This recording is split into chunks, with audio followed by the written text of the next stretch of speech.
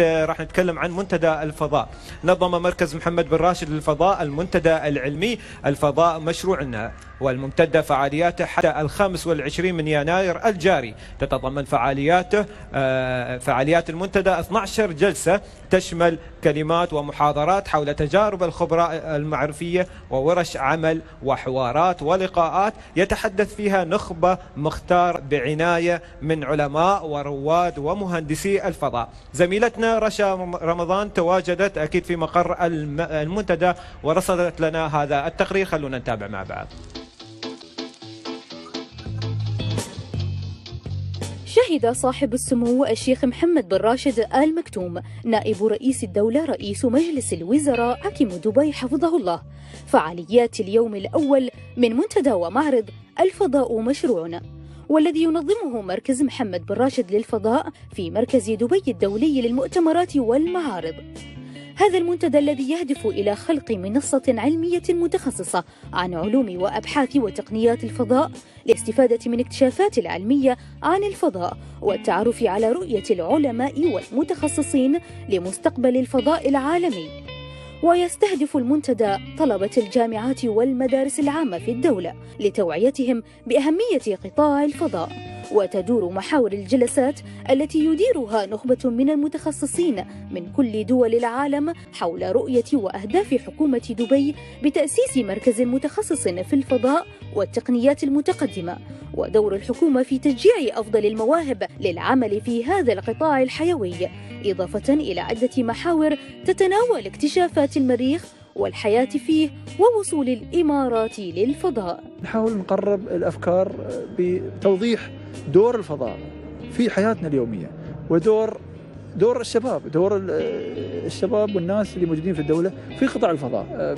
قطاع الفضاء يمكن قطاع يعني يمكن يعتبر مبهم بحكم إن المشاريع تكون عادة متخصصة أو يعني محصورة بالمتخصصين في هذا المجال، لكن فكرتنا إن إحنا نقرب الأفكار نعرض المشاريع آه، نحاول آه، نقرب الخبراء اللي موجودين من من الشباب والشابات الموجودين في الدولة.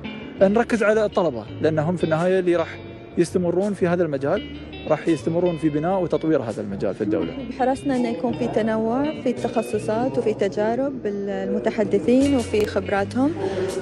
عندنا عدد مهم طبعا من الناس اللي استضفناهم منهم الدكتور مايك براون وهذا الدكتور معروف إنه هو اللي سوى الدراسات اللي من خلالها لغى كوكب بلوتو فكوكب بلوتو اعتبره قزم فهو طلع من مجموعة الكواكب المهمة.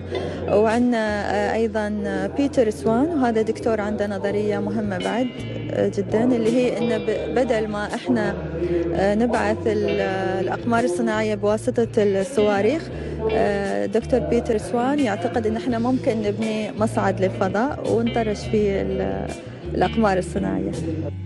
يسير مركز محمد بن راشد للفضاء بخطى واثقة نحو تحقيق أهداف رؤية الإمارات 2021 الرامية إلى جعل دولة الإمارات واحدة من أفضل دول العالم شتى المجالات وذلك عبر إدماج تكنولوجيا الفضاء في مشاريع التنمية الأخرى لما للقطاع دور محوري في تنويع الاقتصاد والنمو المستدام في الدولة بما يرسخ مكان اهتمام القيادة الرشيدة في إمارة دبي.